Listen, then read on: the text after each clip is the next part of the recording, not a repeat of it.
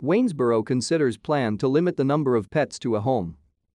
The Waynesboro City Council has introduced a plan to limit the number of pets per home and types of pets within city limits.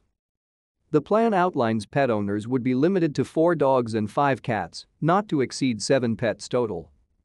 Additionally, the plan would prohibit roosters and free-roaming chickens. Houses would also be limited to 10 chickens. The plan also says goats will be temporarily allowed to help clear brush and pigs will still be prohibited.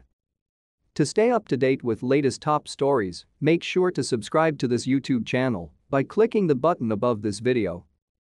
Waynesboro Mayor Bobby Henderson says the proposal was born out of complaints from residents and says the city should be safe for both people and animals. When you've got a small house and they've got 30 cats in there, it creates such an odor and health concerns because you're not cleaning up after the cats. The odors from that seep over into the neighbors' houses and properties, Henderson said. We're getting complaints on those, so we're trying to address that. He says it's a city's responsibility to regulate pet limits. We've got a number of households in Waynesboro that have had multiple cats and nuisance dogs, where they're raising puppy farms, where they're trying to have a lot of dogs on their property, raising them for the purpose of selling or doing something else with these dogs, Henderson said. Amy Hammer, president of Augusta Dog Adoptions, says the organization opposes the ordinance changes. Hammer says she doesn't know all of the details of the proposal, but that she doesn't like the basis.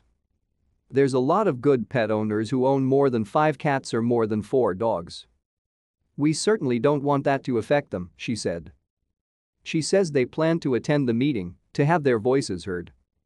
The goal tonight is just to come out strong from the very beginning. Our goal is not to let this ordinance gain any traction and of course to gain as many citizens involved as we can, as well, she said. Henderson says Monday night's meeting was only a time to announce the proposal and they'll discuss the plans over a three-week period.